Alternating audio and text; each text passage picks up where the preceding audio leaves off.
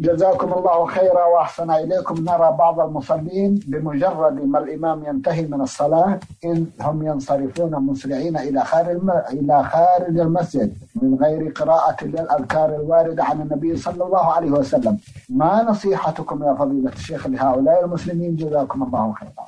الافضل لهم أن يتريثوا حتى يأتوا بالأذكار المشروعة أدبار الصلوات لما في ذلك من الأجر العظيم والثواب الجزيل إلا إذا كان هناك حاجة المبادره بالخروج كان يخشى على شيء يفوت من أعماله أو هناك حالة تستدعي المبادره بخروجه فلا بأس لكن يأتي بالأذكار وهو يمشي. يأتي بالأذكار التي بعد الصلاة وهو يمشي أو وهو في عمله الذي خرج إليه ولا يتركها. نعم.